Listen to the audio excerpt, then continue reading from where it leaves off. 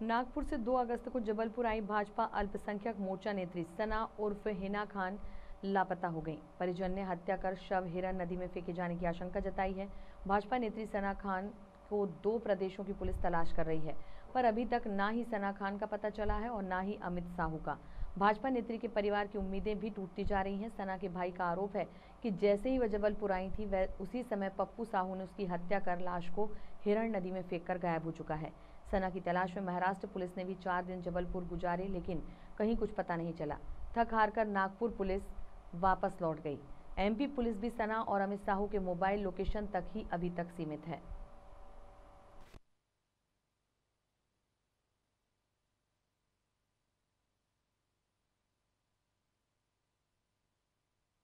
थाने आए क्या शिकायत लेकर आए यहाँ पे आने का कारण ऐसा था कि दो तारीख से हमारी सिस्टर है, अल्पसंख्यक मोर्चा में, वो भारतीय जनता पार्टी की महामंत्री थी, सना खान।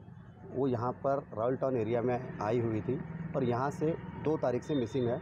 हमें ऐसा पता चला है कि उसका मर्डर हो चुका है और उसकी हत्या करके लाश को हिरन नदी में फेंक दिया गया है। परंतु यहाँ का प्रशासन, इतना पुलिस प्रशासन स्लो चल रहा है कि दो तारीख की घटना को आज तक के आइडेंटिफाई नहीं कर पाए बॉडी कहाँ है ये हमें पता नहीं है। परिजन सारे परेशान हैं और सभी जगह हो हल्ला हो गया है। पूरे नागपुर शहर की मीडिया एक्टिव है और जबलपुर प्रशासन अभी तक के सोया हुआ है। बस इसी को एक्टिव करने के लिए और हमारी बॉडी जो बहन की जो बॉडी है उसको आइडेंटिफाई करें या फिर ज़िंदा या मुर्दा हमारे सामने लाए यही हमारी मांग है। किसके ऊपर आपको शक है पप्पू शाहू करके यहाँ का कोई खुनियात अपराधी है।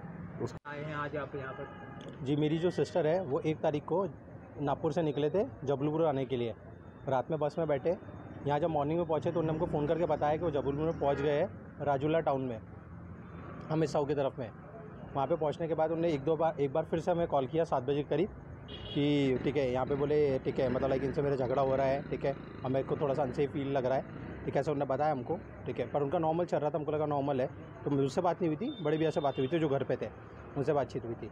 उसके बाद में फिर हमने वापस इनको कॉल लगाने की कोशिश करी बड़े भैया ने।